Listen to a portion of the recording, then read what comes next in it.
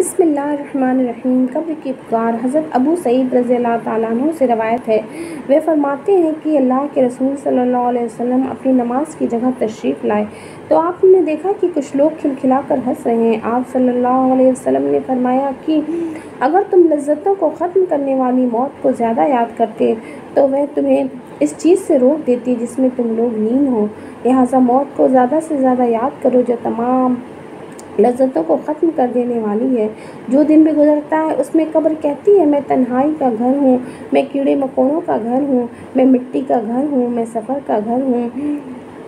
जब कोई मोमिन बंदा कब्र में दफन किया जाता है तो कब्र उसे खुश आमदीद कहती है और कहती है, तू मेरी पीठ पर चलने वालों में मुझे सबसे ज़्यादा महबूब था।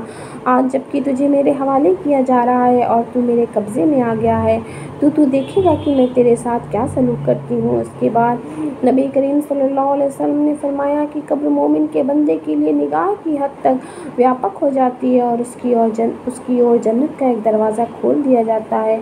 और जब कोई सरकश और नाफरमान बंदा कब्र के हवाले किया जाता है तो कब्र कहती है कि तेरा आना नामुबारक हो। तुझे कोई खुश आमदीद नहीं, तू मेरी पीठ पर चलने वालों में सबसे ज़्यादा नफ़रत के काबिल था।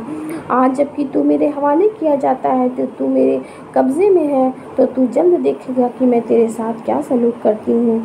नबी सल्लल्लाहु अलैहि वसल्लम ने फरमाया, कब्र उसे दबोच लेती है यहाँ तक कि उसकी पसलियाँ आपस में मिल जाती हैं।